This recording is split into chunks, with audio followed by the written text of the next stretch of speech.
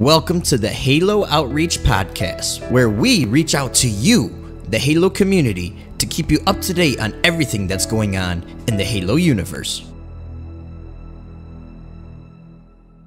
What is going on, everybody? I'm your boy Patman here, joined by my fellow co host Kevin Koolx, and this is the Halo Outreach Podcast, where we reach out to you guys, the Halo community, to keep you up to date on everything that's going on with our favorite universe and gaming. So, this podcast is going to be about a few different topics. We had some news about file share transfers this week, also Flight 2 news, and me and Kevin are going to go over our SPV3 reviews, kind of, and touch on the things that we liked and didn't like about the very popular fan made Halo CE mod. But first, before we get into all those topics, let's just uh, get to know each other a little bit real quick for the week. Kevin, do you have anything new going on with you this week? What have you been playing?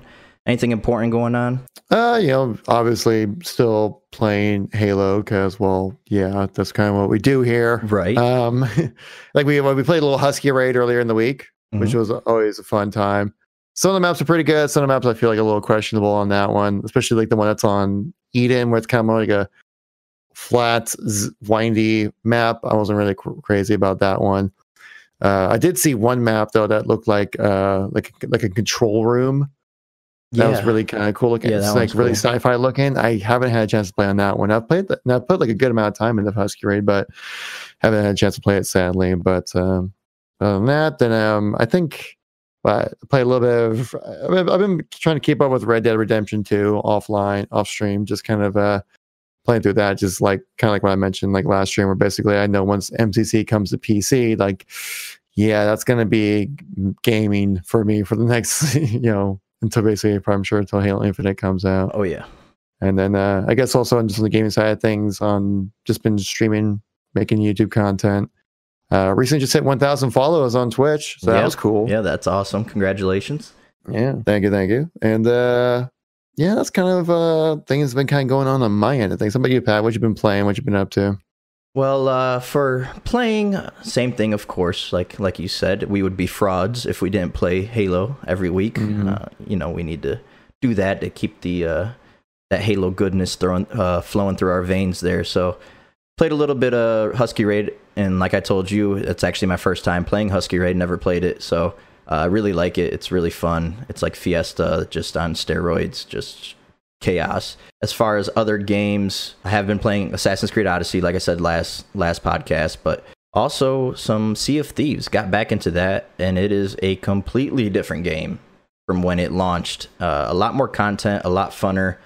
I mean, every game is always funner with friends, but my friend, my best friend, who lives in New York, back where uh, my hometown, we're very far apart, and we've never really been able to play games together uh, because he refuses to buy an Xbox, and um, you know now we could finally play games together. So that's awesome since since he's on PC.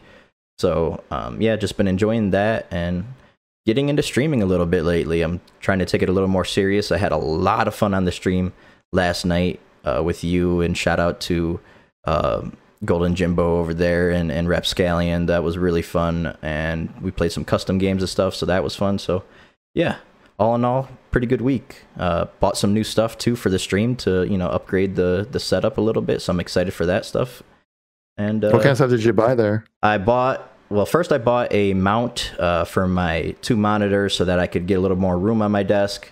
I bought a new keyboard uh, that I absolutely love. I might actually do a review on it. And then I bought also some padding for my walls, like some foam padding, just to help the reverb in my room and stuff to make the audio just a little. You know, I try to upgrade where I can to help the quality of my stuff. So um, hopefully that makes a little bit of a difference. And uh, yeah, that's a, that's about it. Yeah, that's kind of how it is when it comes to when you're doing like content creation stuff. It's just like gradual upgrades over time to Exactly. eventually get to like a pretty sweet setup kind of thing. Because obviously, like if you try to do it all at once, Oh, you're that's a bit of a wallet drain right there. But you're like, yeah, I'll spend forty bucks on like foam padding for my walls. Exactly. Sure. Yeah, You definitely. Like, or uh, you know, I need a new mic. uh, Like I had, I started out with a snowball, and now I worked my way up to a Yeti, which was like a maybe a fifty dollar upgrade, and you know, sold my old Mhm. snowball on uh, eBay, and then you know, eventually I'll get like a nice freaking XLR mic or whatever, like a Mm. Audio Technica or something, because I heard that's the way to go. Um, but yeah, it's just you know, like you said, increment incremental upgrades to make sure people you know recognize that you're you care about your channel. You know. Yeah.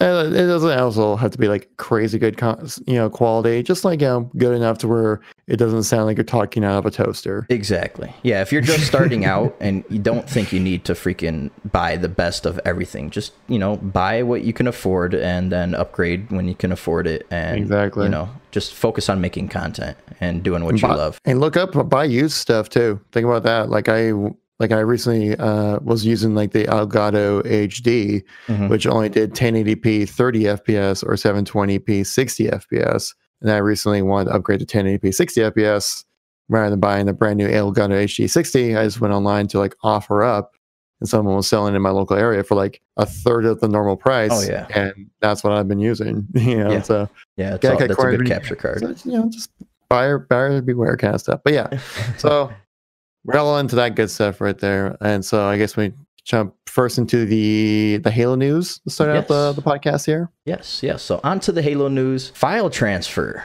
uh, got announced, and me and you both did videos on this on our channels. But for those who didn't know or who are uninitiated here, anything from the legacy titles, I'll actually just read the excerpt right from 343 themselves so that we don't get any info wrong here. So, um, any of the legacy title Halo games, Halo 3, Halo Reach, and Halo 4 on the 360, they're going to let you transfer your file share from those games regarding game types and maps to MCC on PC and on Xbox. And it's for now just games and maps only. Um, I don't think they said there's no plans to do anything else as far as uploading to file share, correct? As far as screenshots and all that? Yeah, no screenshots and no clips either, just the maps and the game modes. Okay. So if anybody's wondering how you do this, uh, this is right from 343 themselves. They say load up Halo 3, Halo Reach, and Halo 4 on your Xbox 360 or on your Xbox One via backwards compatibility and ensure the local files you want to copy over to MCC are uploaded to your file share before each pull. Ensure your game types are uploaded up before August 12th, so that is the date for the uh, for the game types. August 12th is the date that you need to upload your game types onto your file share. That's the day the transfer will be going down. On the 12th, please leave them there for at least 24 hours without altering so they can properly perform the copy.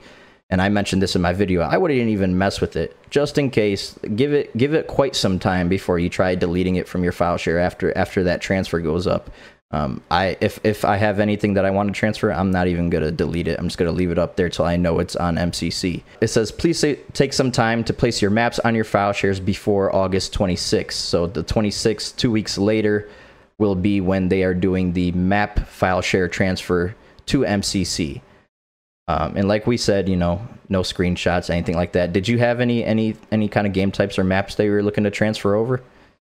Um, I mean, I did definitely do a lot of forging back in Halo 3 and a little bit less in Halo Reach. And then I kind of like lost interest in forging just because like I'd spend hours on making these maps and then no one would ever end up playing them. Right. Yeah, because there how was no was. like custom browser, which is something I've always wanted since Halo 2 and only just got added in the Halo 5. Right. Um, and so, I mean, I could probably look back and see if there's any kind. I mean, there's some maps that kind of come to my mind. They're like, it'll be kind of cool to play them right now, but uh, uh, nothing really in particular. I'm like, I gotta share this with the people, kind of thing. Yeah. Uh, same thing with game modes, really, because I think I generally just kind of made all my. I really was more into making maps and game modes, specific like map game mode combos, kind of things like that. Mhm. Um, so I wasn't. I'll look in if I can get anything on there, but I'm not really too uh, stressed out about it. How about yourself, there, Pat? Yeah, same thing really on my end. Uh, I spent the most time probably forging in Reach uh, on Forge World, but like you said, nothing that I'm like super proud of or anything like that that I really you know need to upload. I will take a look and see, but um, yeah, nothing nothing too crazy there. Mhm. Not not nothing. It really doesn't apply to me, but I'm really glad that they're doing it. I think that's a really awesome feature. Yeah, I feel like this is kind of like an extra, like additional, just like here's a little bit of awesomeness for you, just because we can. Yes, kind of and- yeah, three four three is just on a Uh, roll lately. Yeah, and so I think it's really great that they're able to do that. Uh, understandable, probably when it comes to just like server size, because obviously they got to pay for servers to make sure like you can hold this kind of information on. and so that's probably why it's only like a one-time transfer kind of thing. Uh, they did also mention though that even though you're not going to be able to transfer over your screenshots or your film, film clips or anything like that, uh, they are looking a way to bring that over to Halo Waypoint to have it viewable on the website and downloadable on the website as well. Uh, but that they just said that looking in, like investigating it, nothing really beyond that. Right, nothing confirmed yet. Right. Yeah. And then apparently, it's a little bit of a weird thing when it comes to PC players, Pat. If you want to kind of go into, into that when it comes yeah, to file yeah, transfers. So I, I, got some opinions on this one, but um, we'll see. You know what happens. But for all the PC players out there who do not have an Xbox, I don't know how this is going to work. So this may be a problem. So if you're on PC and you want to have your file share accessible on your PC when MCC launches, then you need to load into MCC on an Xbox after the update to make those available to you on a PC. And I'm just not sure how the heck that's going to work if you're just a PC player, which I'm sure a lot of people are, and don't have an Xbox. I mean, for me, that's not a problem. I have an X, I have two Xboxes, so not a big problem. But that's not everybody in this world. So I'm curious to see how they're going to answer that. What do you What do you think about that? I have a feeling it's probably something to do with it being through Steam. It's probably mm. my guess. Where it's probably something because it's, it's definitely have to be something that's linked to your Xbox account, right? Right. And there has to be probably that's probably like the roundabout way they can make it work with having to work with Steam and their interface. There's probably some back end nonsense that's you know really annoyingly complicated and just too much work to deal with. And like, well, let's just do this roundabout way of doing it, kind of thing. Right. And so, but even then, though, like what they said that um isn't it that like file share or something that's not even going to be available on Reach on PC when it launches, anyways? Or was it just cut? Or was it just Forge, right? Or they said like uh, Forge, Forge, and and um, yeah, Forge is not going to be available at launch. Forge and Theater. Forge right? and Theater, correct. That's yes. why they actually did this transfer in the first place, so that people could have some custom game like content to play. Um, mm-hmm. You know, in the meantime, until they get that up and running. True, yeah, because like my custom game experience with Halo is such a is such a core aspect when it comes to playing classic Halo. Oh, absolutely. That, yeah. Like you need to give people kind of like a day one available day one experience when playing on PC, because you know because you know anyone who's playing the game on PC is like I want to experience it just how it did ten years ago. shots fired. Yeah, shots fired. yeah, exactly. I mean, I hope uh, if if there's anybody from three four three listening to our podcast now do that with Infinite, please. Day one, uh, custom game browser would be awesome. Day one, please, for Infinite. We've had five years, so. please. That, that's something that, again. That's a feature I've wanted in Halo since Halo Two. Exactly. Like yeah. when like online custom games became a thing. And I was like, oh, if there was only like a way you can browse through matches people posted up, it would be amazing. Exactly. And they finally did it in Halo Five, but I feel like it gets underutilized a little bit. And it was a little too late, right? Well, it kind of came like what, like a year after a year or two, maybe yeah, after the release of Halo Five. Years, yeah. But even then, though, like I think it's just this is the issue with just custom games in general. In Halo Five, it just runs. It's really buggy and slow and laggy. Yeah. When it comes to people like joining in and jumping out of matches and custom games, mm. to where like I've had it happen so many times, especially if you have like 12 people in a lobby, which I've had before when trying to play custom games. Like if two people are joining in, but then three people are, you know, two people jumping out, but three people joining in. That like literally my game is frozen for like five minutes straight and I can't do anything. Jeez. And if I quit the build, then I lose the custom game. I'm not hosting and everyone gets disconnected. And yeah, it's, it's a hassle. Right. So if they can improve the performance on that, then it would be greatly, uh, it'd be a huge feature within Infinite that would really kind of keep the game alive. Oh, yeah, beyond I mean, just the initial release, where like it would keep I don't, I don't want to say flaky fans, but like um, casual fans maybe? Casual fans who kind of just hop on and play whatever's new and then kind of hop on once they're yeah. like okay i've experienced the core experience of the game. I'm done playing you know kind of thing. Yeah that's definitely a pillar of halo like i mean mm. just just um it helps the longevity of the game too. It's just like mod support. Like i'm really excited when mod support will finally come to mcc i mean i know they said it's not official that they're looking into it but i would hope they would add that because that just helps the longevity of a game. Like it just that could, li- mm-hmm. I mean, look mm-hmm. at look at custom edition, which we'll touch on later. You know, like it's still being utilized to this day, however many years later, which is insane. So um, that's why. That's why. Go ahead. Sorry, I'll say it's one definitely one of those things where you just need to give players the ability to do what they can with it, uh, exactly. rather than have and don't worry about so much about curating the content. I say just like you gotta get like kind of like what they did with the grassroots program, right?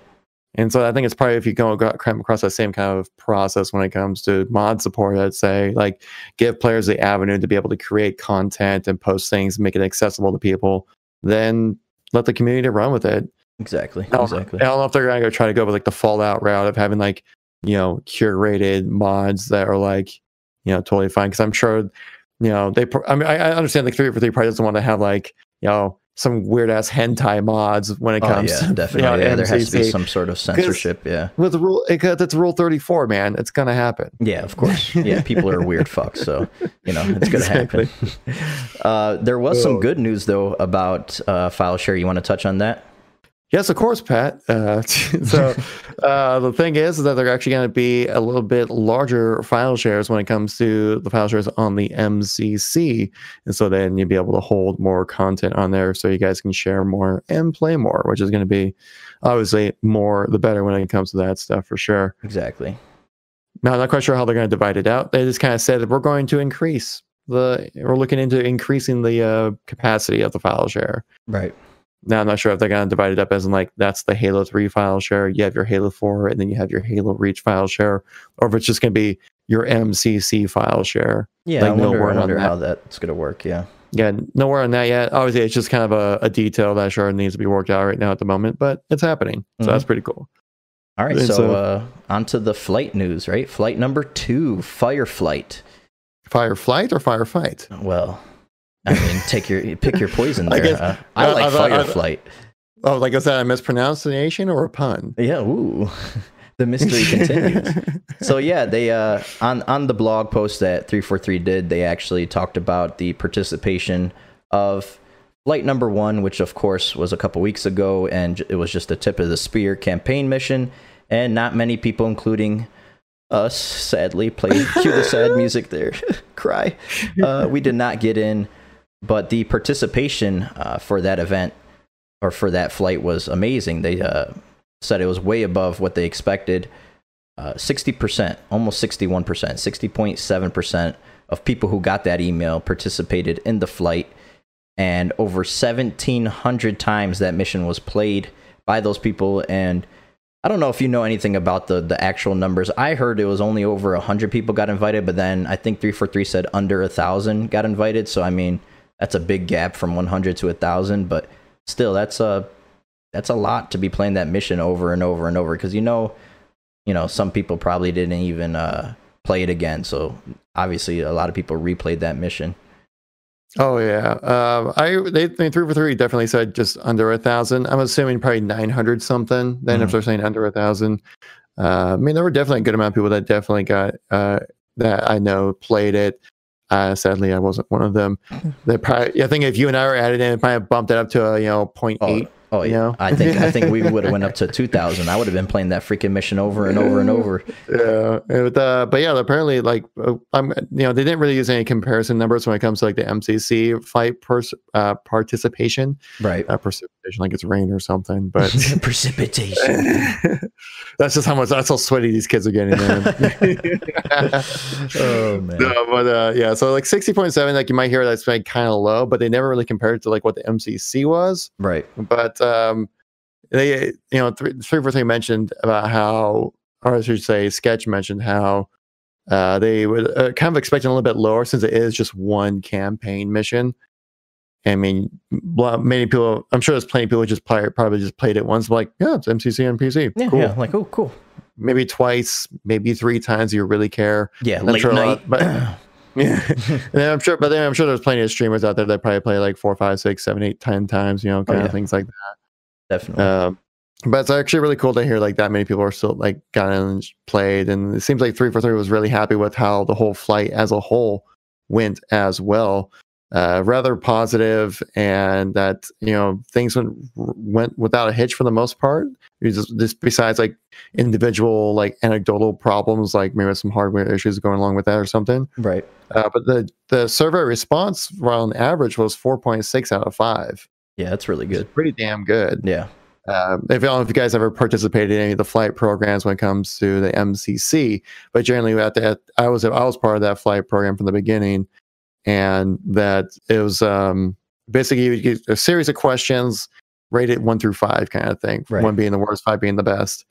and it was like roughly about ten ish questions you would get, and I know, and so that basically after averaging out all those answers, four point six out of five was pretty damn good.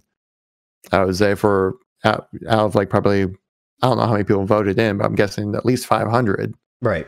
So that's pretty good. Yeah. Yeah, and then you got to keep in mind too that um, you know, people might think that participation is low, uh, like 60%, but it was one email that got sent out.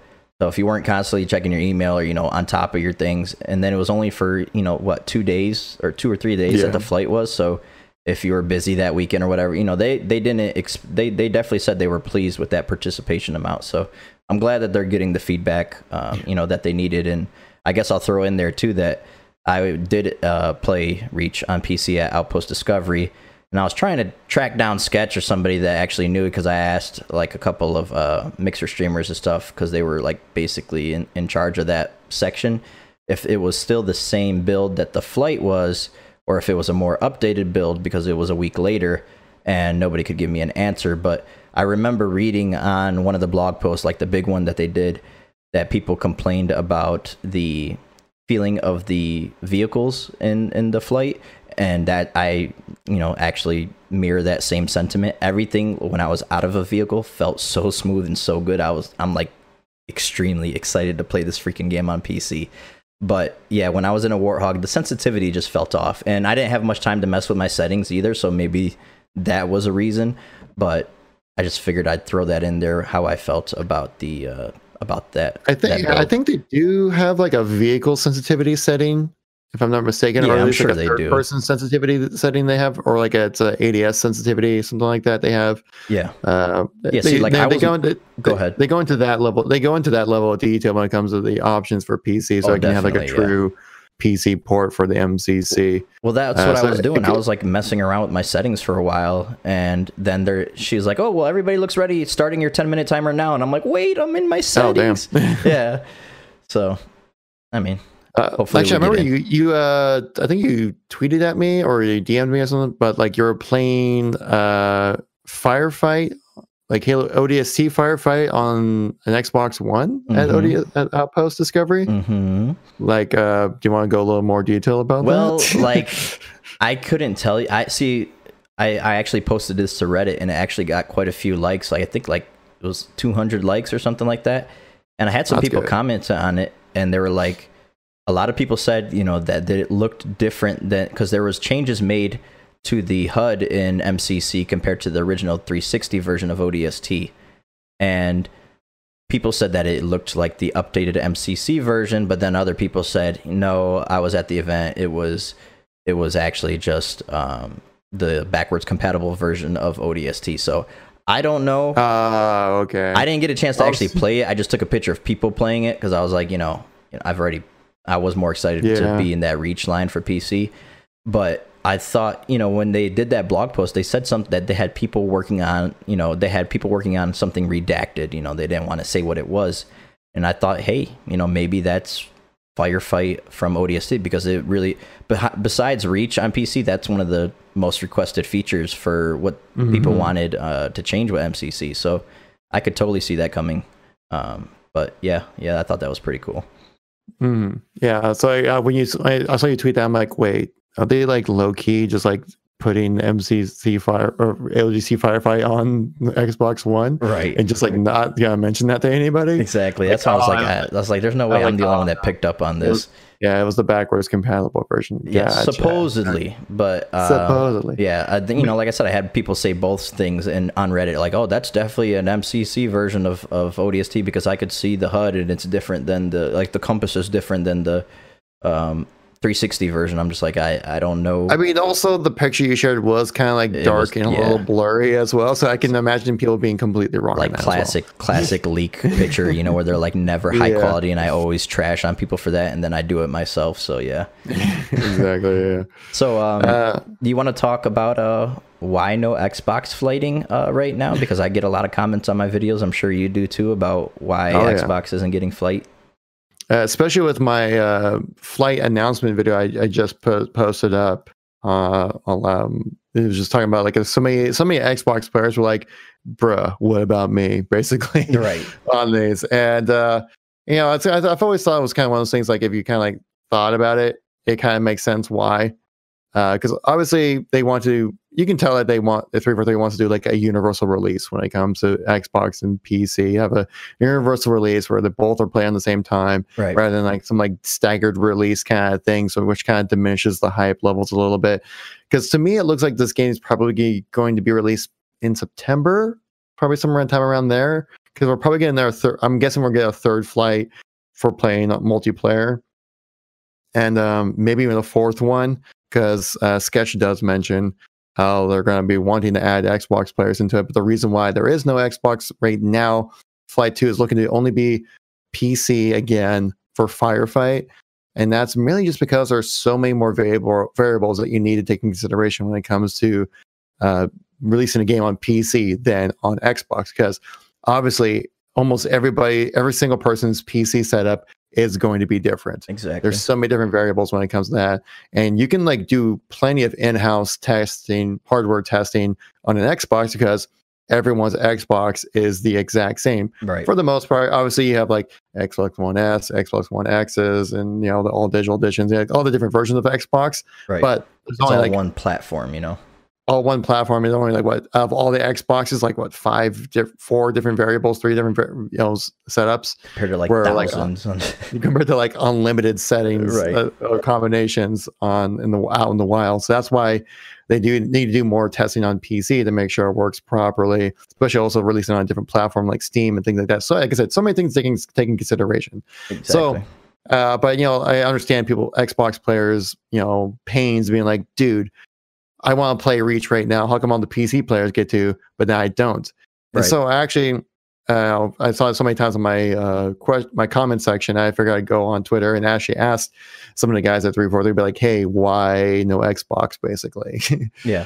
uh, so I tweeted at Postums, Sketch, and Unyshek. Just and I said it was like I've been seeing. What I said in the, my tweet was like I've been seeing a lot of comments on my about Xbox players feeling left out on these flights.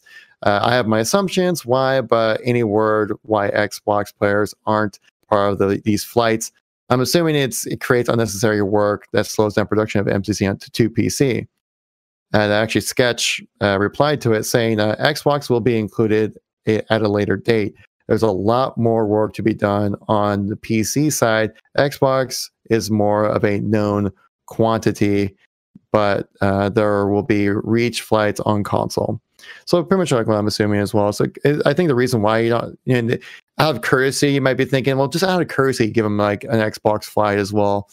But what that really does is create a lot more work for uh, the team to bring MCC to the PC. So ultimately, doing these courtesy flights for Xbox players would ultimately slow down the production and release of the game coming to the Xbox and PC. Yeah. Like I mean, So to, so like- to, to improve efficiency on like work time and try to get the game out as soon as possible, they're not doing Xbox flights right now. Yeah, and I it, that's the last thing we need is another debacle with MCC's launch. So like I'm just Mhm. all for them taking their time with PC, and on top of that, like you said, they're, they're already stretched thin at 343 for who's working on this PC port. Like they have two partners already, and what Ruffian and Splash Damage, I think. Yep. Um, so that's that's just you know you you don't want to add that much workload to them. Obviously, most of the studios focus on Infinite. There's a very small team helping you know do this MCC PC stuff, and then I, it is I a really small team. Yeah. Actually, it's like, what, like maybe like 15, 20 people working on it. and then you know like on top of that I, i'm very like I, i've been very passionate about this with my subscribers and like you know i understand your sentiment about you know what about xbox but at the same time we have mcc mcc on xbox already. We have those five games. We have reach on xbox already. You could play it on your 360 you could play it on your xbox one via backwards compatibility. And i'm pretty sure it's Xbox One X enhanced, so it's basically the the version that's coming to MCC. So you know, like you know, for the people who don't have Reach and haven't played it yet, you know, yeah, you, you know, people want to get that as part of MCC because they're excited about that. But you know, these PC players haven't had a Halo game since Halo 2 Vista back in like 07. So we're we're like 12 years they've been waiting for a Halo game. So I'm you know, I I understand the Xbox players anger and frustration or whatever, but at the same time, let the PC players have a little. You know, this is coming from me. I'm a console guy. I'm an Xbox guy, but you know, let the PC players do their thing. You know, let them let them have some fun with Halo. Let them let three four three work on this and get it right. Uh, because we don't we don't need that debacle that was the original launch of MCC to happen again on PC. That's the last thing Halo needs right now. Halo isn't going trending upwards right now. That's the last thing we need. But it's my Halo and I want it now. yeah, that's how some people are, man. But um, yeah, I, I, think we spent a good amount of time on, on that news. You want to move on to the uh, ranked Halo 3 uh, playlist being added and then the competitive stuff? Yeah, yeah, for sure. Okay, so yeah, uh, there was recently a place update when it comes to the uh, the competitive side of thing when it comes to MCC, or not, the guy comes to MCC. Uh, they removed Halo 3 Team Arena and replaced it with Halo 3 Team Slayer ranks, uh, which I think is probably the best move because obviously uh, I thought having Team Arena and Team Hardcore for Halo 3 was rather redundant. It's like, would you like to play with radar and unbalanced settings, or would you like to play with no radar and balanced settings? right. And like, well, I guess no radar and balanced settings sounds pretty good to me. And so that's why why that's that's why I think they kind of helped reduce that redundancy. Uh, ultimately, I personally would like to see just like have the hardcore settings of your game for each game be the ranked mode, just to help consolidate players who want to kind of sweat it out because obviously with MCC, though it has gained certain amount of popularity since over the last year, it's still a rather small game. And sometimes when you're searching late at night, like past 9 p.m., especially for me, like West Coast time, it gets a little difficult trying to find matches. So that's my opinion when it comes to that. But I think uh, a ranked Team Slayer is certainly something that would be a lot better than just ranked Team Arena. Uh, so you get that to look forward to. And talking about the competitive side of things, we got we recently had the uh, Halo 3 uh, Rise Till Dawn Red Bull 2v2 tournament happen recently over in Chicago, which was kind of an interesting event. Um, the thought, the concept of it sounds really cool, but then the actuality of it, I think, didn't exactly play out as I thought it would play out. Because basically, what would happen, the reason why they call it Rise Till Dawn, is because literally they didn't start until like the until the sun set and then they literally played Halo 3 2v2s throughout the entire night until the grand finals were played like basically when the sun was coming up. So they like pulled an all nighter basically, like yeah, the they literally pulled, an, literally pulled an all nighter on this tournament, which I think is like a cool concept. Mm-hmm. But then practicality wise, I think it's not the best move just because like, you know, I, I, you know, I was streaming that night too, so I didn't get a chance to catch most of the games. I know I did watch like single Halo clips, posted like a highlight video of the whole thing. Mm-hmm. Uh, so I definitely watched that, and uh, it's just uh, like the whole, the whole idea of like streaming a tournament, right? So people can watch it, but when you're streaming it while everyone's sleeping, not many people are going to watch it, you know? Right, right. Though I think it might have been one of those things like that. It's more just kind of like maybe for like the com- competitive community themselves, because I imagine that being a blast. Yeah, absolutely. Yeah. It was something Apparently, different, you know apparently they even had like a pancake artist there yeah, as well who was like be able to like they were like doing like intricate drawings of like of pancakes of like you know energy swords and master chief helmets and things like yeah. that i've seen some pretty awesome twitter pictures about that. Yeah i saw bravos uh, it didn't look too too mm, good compared to other people but you know So, but uh, so there actually was a big surprise that happened. Who won that tournament? It was actually the the two v two, the team of two of Trippy and Penguin actually won the entire tournament. Well, walked away with five thousand dollars in that one, which is pretty nice. Um, which is kind of surprising because he had like greats matching together to go into this tournament. Like um, Sage Black was Ryan Noob and Commonly. Roy Box was obviously Roy and Lunchbox, which a legendary duo right there by themselves. Yeah. Falling Esports was uh, Neighboring Eco, another really good combo. GMS, Gabriel and Fantasy. Uh, Infinite was Bubudubu and Tusk. Reciprocity was Snipe Down and Ace, which Ace was coming off probably his best performance he's ever had from the last Halo uh, 3 tournament. Mm. That was uh, over in uh, Dallas, the Dallas uh, 44 tournament, where they think, I think he finished second place. Mm-hmm. They, they only lost the Tux.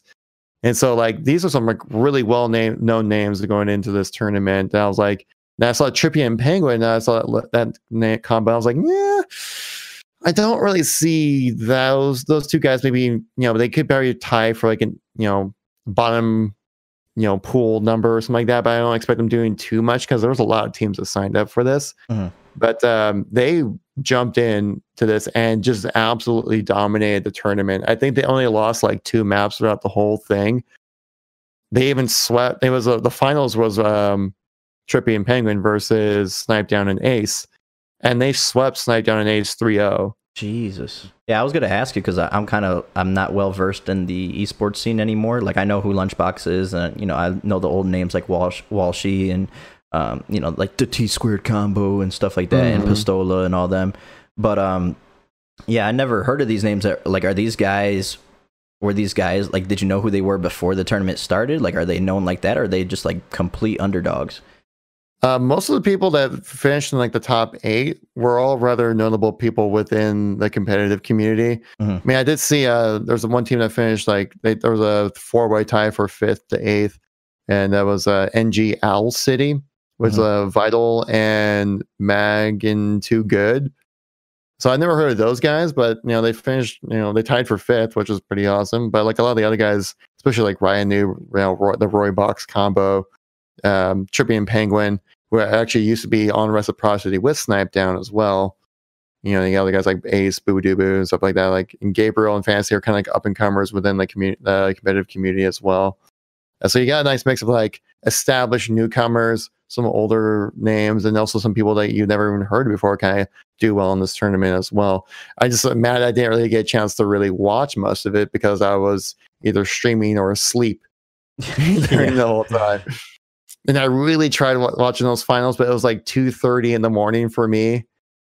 And I just like I just I literally just fell asleep while watching. That's Yeah. also because two v twos aren't like crazy entertaining to watch. You know, Right. they're rather slow paced. I noticed that a lot of games were fishing finishing uh, because of time limit, not because of score limit. Oh, okay. Uh, generally, with like the really good teams, though, that's when you saw games going score limit.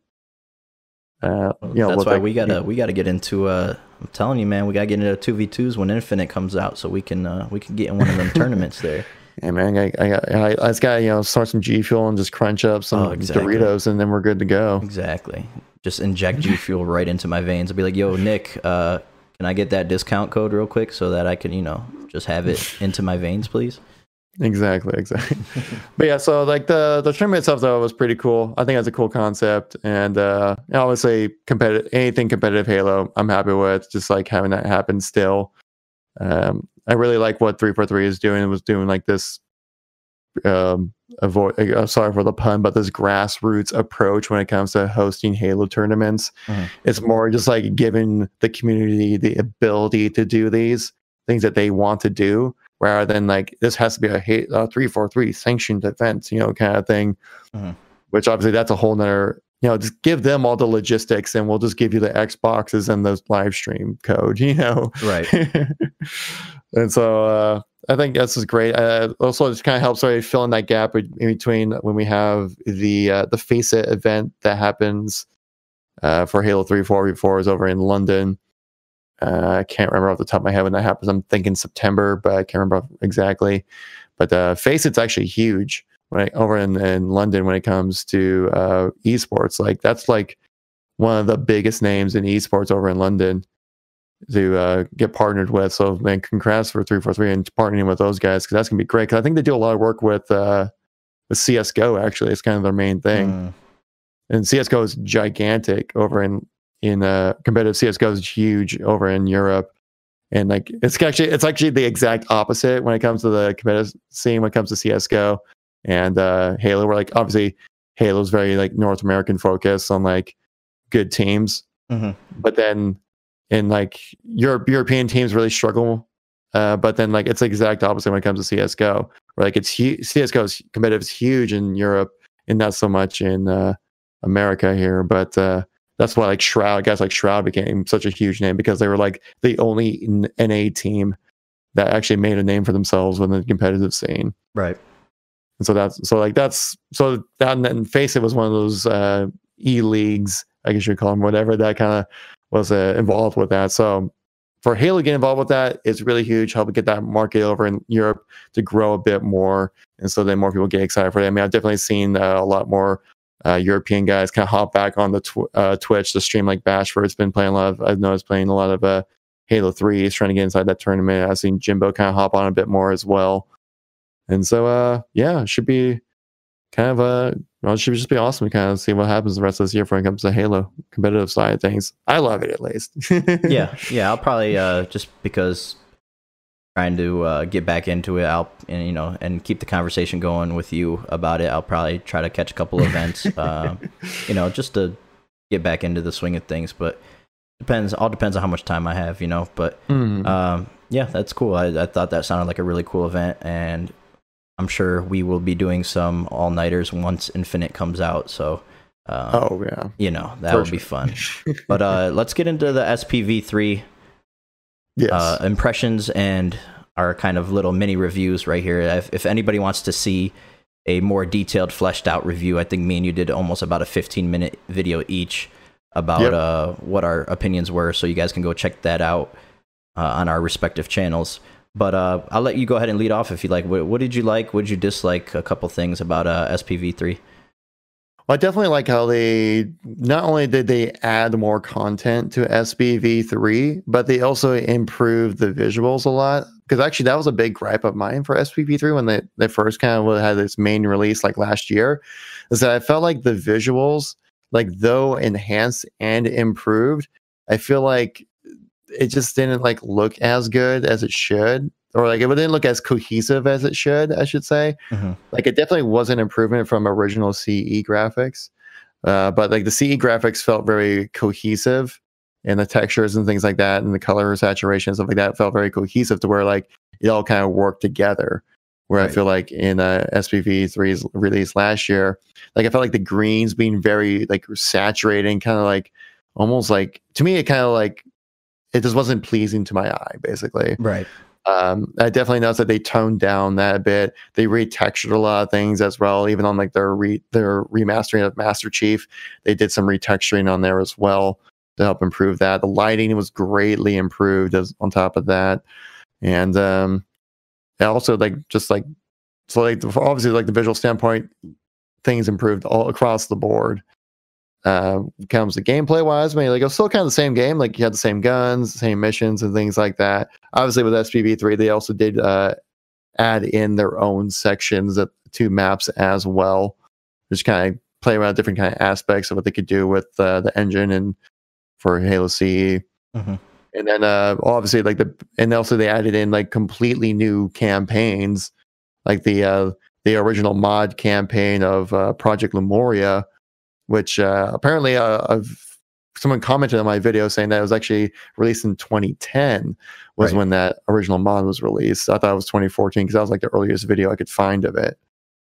And so then adding that Project Lemuria was such a great addition to SPV3 because I also got the face the SPV3 three facelift as well. And I think just like the campaign itself was able to capture the scale of Halo really well Yeah, absolutely. like it it felt like I was like a soul like a I felt like even though I was playing as a Spartan, I felt like you know I was playing like as like a a little soldier within this big war atmosphere level scale and things like that. Like it really helped capture that gameplay. Um, I would say that the voice acting felt a little flat at times. Mhm. But Of course, saying you're not working with trained professionals like that- you know, like that. Yeah, obviously, like you know, Combat Evolved did, but like even then, though, like even though I'm not a vo- tr- classically trained voice actor, like I've been able to put machinimas together that sound halfway convincing, you know. yeah, definitely. And so and so, uh, some of that that's my only gripe with that, and uh, and then I also I guess my only other gripe would probably just be like some of the missions that were dark were really dark. yeah, Yeah, yeah, man, kind of tough to see, uh, especially like elites and things like that. And also, I think like some of the, the sensitivity for the game as a whole is a bit high. Um, you know, because I'm, it's not like I'm foreign to playing games on PC. Like I've played plenty of Battlefield three and four on PC, and um, Battlefield, Battle, uh, Battlefront on PC as well. Uh, just various other games where like I'm able to tune the sensitivity that makes me feel comfortable that I'm like okay with. But I feel like SPV3's lowest sensitivity would be still really high for most games, especially with the advanced AI that you have in this game as well. Because like normal is not normal difficulty. No, it's It hard, man. it's like it's like a sweet spot between heroic and legendary, Yeah. really. it really is. And, and I know you ran into this issue as well with, with one of the missions, which we'll I'll let you transition to that later. But um, like uh, like with like elites being able to like they duck and dive so much more yeah. in this game. It's kind of like almost unfair, but like it's just you know it's it's this game's meant to challenge you more because obviously people are going to be playing this are much more like hardcore fans who've definitely played the game through multiple times. So you gotta give a little more of a challenge to players to kind of make retain their attention, you know, kind of thing. Exactly. And so, like normal difficulty is highly suggested in your first playthrough when it comes yes. to playing SPV three.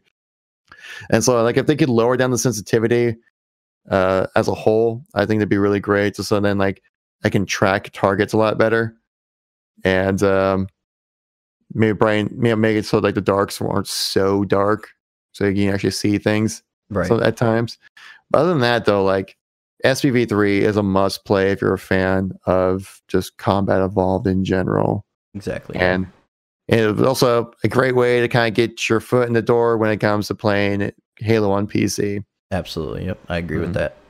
Um, so, uh, what were your thoughts on that? Okay. Uh, yeah. So, uh, I think it's really cool that we have these two differing, like, uh, you know, experiences with SPV3 since, you know, you played the original, uh, you know, so you mm-hmm. went in with it. This was completely new for me as an experience because, like I said, I, I haven't really been PC gaming long. Uh, last few months, I built. I mean, I had a decent PC before, but I never considered gaming on it.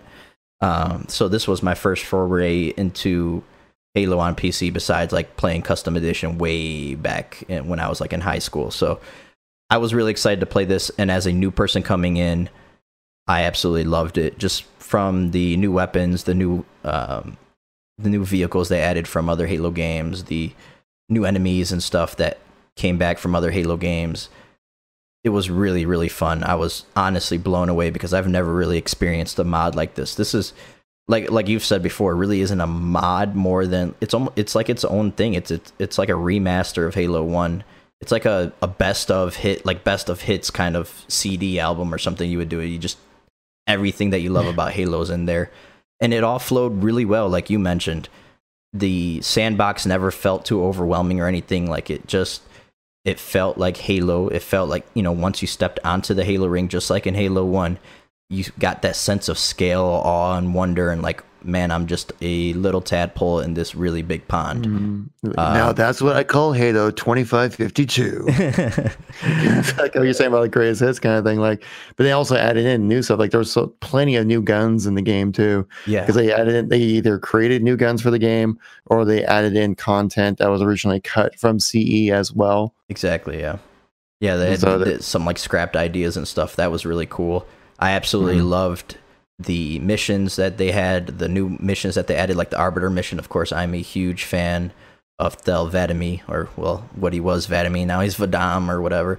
Um, but that was awesome to see, and the, you know they even had lore stuff like terminals and things like that. I thought that was really cool. And shout out to Masters, man, for um, I didn't I never expected to get a review copy of that game, you know, because they were looking for bigger YouTubers like you know this other guy in here that's with me.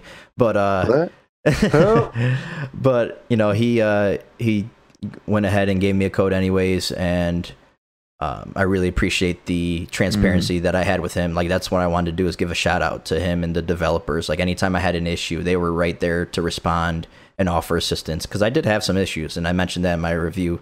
Um, I had some really bad frame stutters at points, but yeah, changing yeah, changing certain settings helped that with with me. Um, and then you know after I put my review out, a lot of people made it known to me in the comments like, "Oh well, if you would have changed this setting, you would have had 60 frames animations because it looks janky and stuff." I'm like, and you know, it's like enabled Chimera or whatever it's called, and uh, and I'm like, I don't know what Chimera is. You know, I don't know what that setting yeah. does. So I, you know, and I think they, you said they did change that with the new launcher, right? It actually tells you what it does. Yeah, if you like hover over it, then it'll like kind of give you a, a, little like little sentence about like what it does, which before it really it didn't before. So yeah, it didn't update when we yeah, were playing it. Like, which another thing they actually brought in was they made their own launcher for the game as well. That kind of just takes you through the process of downloading this game properly, so you can play it. Yeah, absolutely. So I I, I really um, yeah, I plan on going back and playing that. And one of my main gripes with the game, um, I do agree with you on the voice acting, especially in Project Lemuria.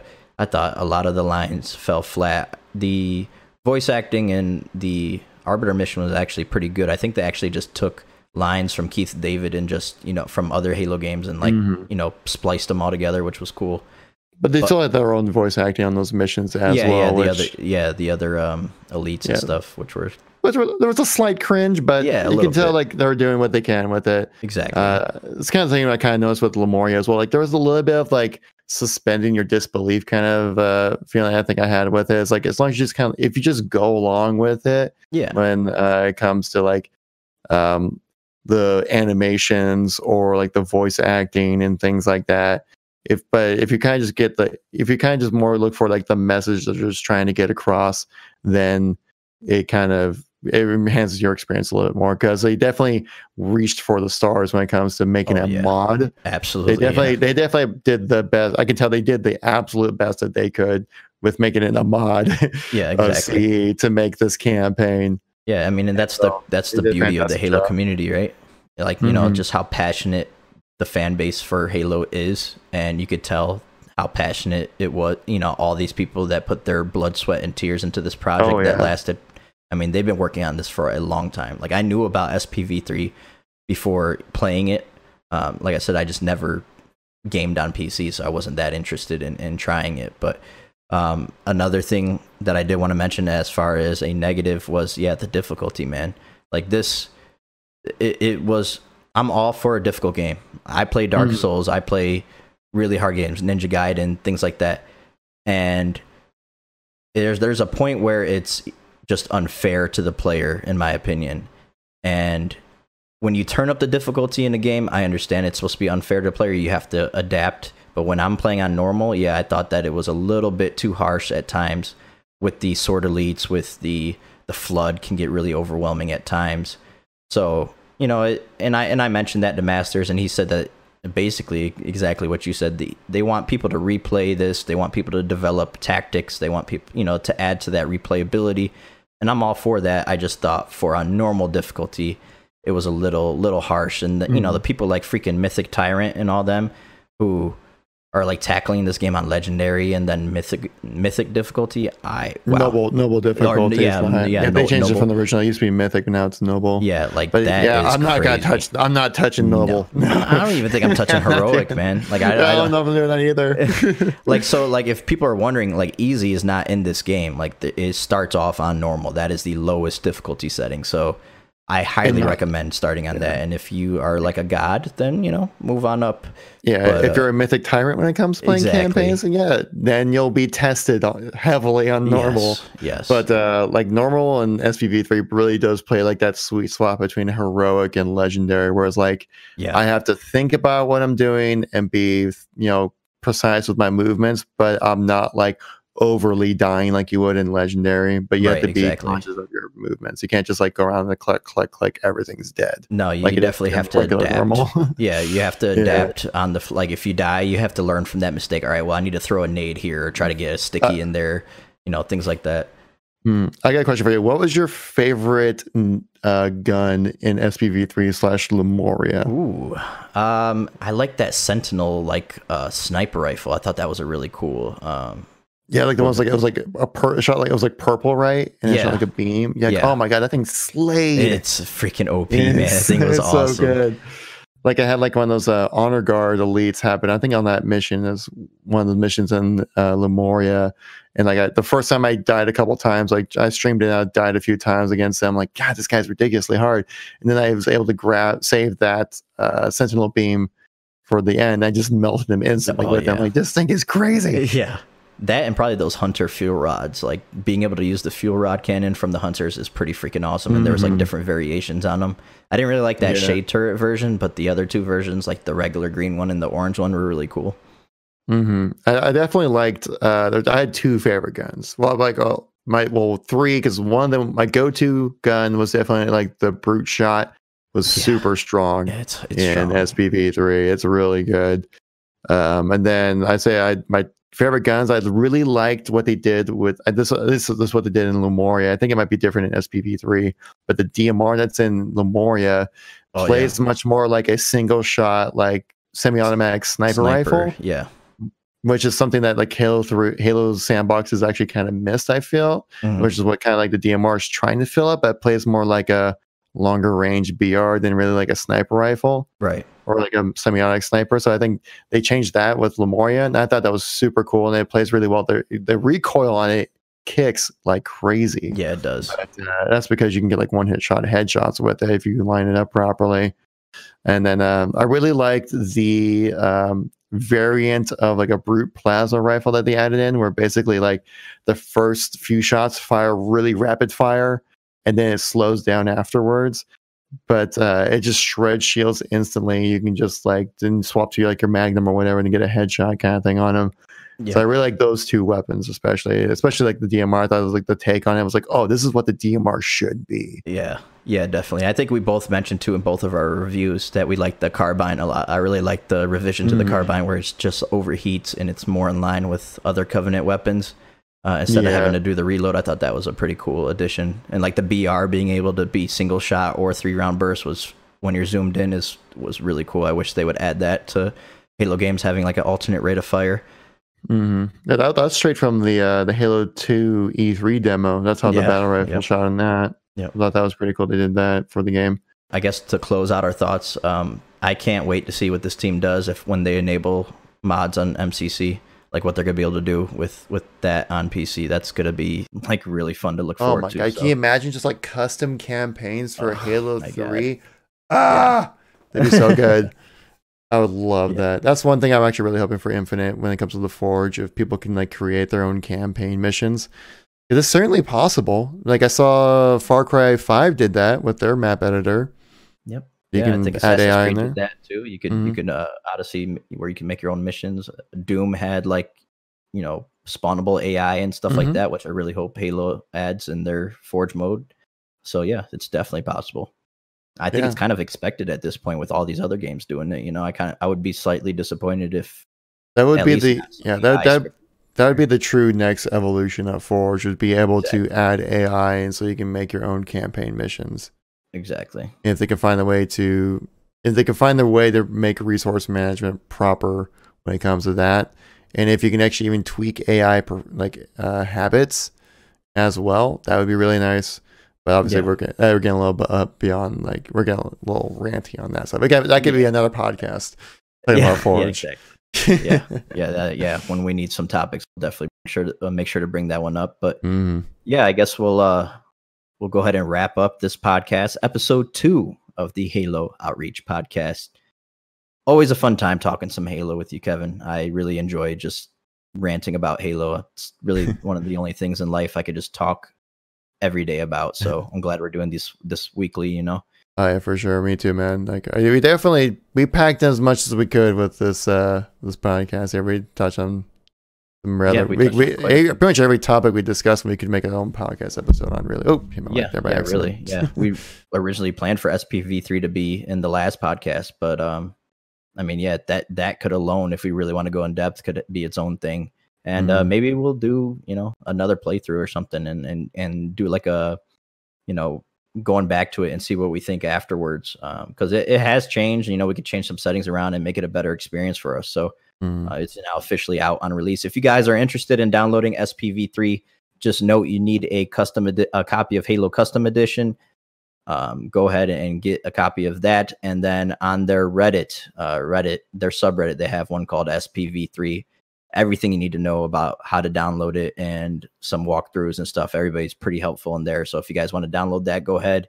Me and Kevin definitely highly recommend you do it if you are a fan of Halo, Mhm. which I would hope you are if you're listening to us right now. So And I would Um, say if you, I'm sorry, I would, I would say also if you have any questions, you definitely want to join their Discord yeah, because they're yeah, very the developers and they are very active. They're willing to help you out, and answer any questions for the most part. If they're like, yeah, obviously they're they are humans, so they're not going to be on there like 24 hours, but like. You know, they're rather responsive Yeah. on there. They're willing to help you out and try to get you the experience because they want people to play this. You know, yeah. this is I'm their sure passion project. Sleeps, dude. I think like every time I message him, he's he's and it's been like totally different times. Like, like he is Mm. he is an animal. Um, they could be hit up on Twitter too. I think they have their own Twitter Mm. accounts, and Yep. SPV3 has its own Twitter account too. So Are you planning to meet up with Masters over in Philadelphia, right? I talked to him, and he uh he had some stuff come with family, so um, he won't be making it to Philly anymore. Yeah. is a bummer, but I completely understand. Uh, but yeah, he's been he's just been an awesome member of the community. So Mhm. Masters, if you're listening to this, shout out to you, buddy. Thank you for everything. Uh, thank you for being so friendly, and that's what makes the Halo community so great, man. There's a lot of Mhm. good people in this community. Very But, pa- um, we're a very passionate group of Exactly. fans like I've, I've definitely tried i've definitely tried integrating myself within various other communities like before halo like i tried doing call of duty i tried doing battlefield but no community like halo is so No, passionate about their It's game unparalleled, man. and It's so many different aspects of it people are passionate about as well it's not just like a multiplayer game like most game shooter games are there's Oh, so much more to it and that's Yeah, why Halo's like the Star Wars of Yeah. gaming, man. That's You know, why, I, it's yeah, just- it's, it's it's like a it's such a great legacy as well, and it's looked upon so fondly. And Yeah. uh, there's so many ways to enjoy Halo. It's more than Yeah. just like pew pew aliens. yeah, there's just it's, it stretches across all mediums, like it's exactly. everywhere. Mhm. Yeah, and I can't wait to see the future of it, especially with that TV show. Oh my gosh, yes. Um, but yeah, maybe we'll touch on that. Actually, there are some things we podcast about the TV show. There's some slight news that came out, so maybe we'll talk about that. But um, yeah, this has run on longer than we expected once again, but Yes. this is probably going to be a weekly thing because we just love Halo so much, passionate. So I hope you guys enjoyed this video. You could find uh, this podcast on Spotify. We're working to get it on iTunes. It's on our Podbean, and of course on Kevin's YouTube channel. Um, I'll go ahead and tell you where you could find me, and then Kevin, you tell everybody where you they could find you. Um, you, you can find me at Patman Gaming on YouTube. On Twitter, it is fear underscore the underscore Patman. Xbox is Fear the Patman. Twitch, Fear the Patman. Mixer, Fear the Patman. And finally on Instagram, Patman Gaming. So go ahead and head over to Kevin's channel and check out the podcast if you guys want it in video form. Always put some gameplay or something in the background so you guys can watch. It's not just pure audio. And uh, Kevin, where can people find you at? Um, main platforms would be YouTube, which would be just be Kevin Koolx. That's a K on the cool. And same thing with Twitch as well, Kevin Koolx with a K. Uh, if you want me, hit me up on Twitter. I'm very active on Twitter. That's where actually I retweet a lot of uh, news and info about Halo through my Twitter. If you want to catch at that catch up with that, it's at Kevin Koolx Halo, all one word. The K on the cool as well. I know it's a little continuity here. And um, I'm also on Instagram. You can probably guess Kevin Koolx when it comes to that one as well. And uh, I also got a Discord channel as well. Uh, if it, you'll find it on the YouTube videos, I always have it linked in there. And um, yeah, you can catch me pretty much on those. Or also, if you just, pretty much if you just type in Kevin Koolx with a K and then Halo after that, you'll probably find me somewhere. exactly. Yeah. So uh appreciate everybody listening. Thank you guys so much. This isn't possible without the viewers. So hope you guys enjoyed it. Leave the like if you're on YouTube, subscribe to our channels to stay up to date on all your Halo news. And we will see you guys next week on the next episode of the Halo Reach podcast. Thank you very much, guys. Have a good day.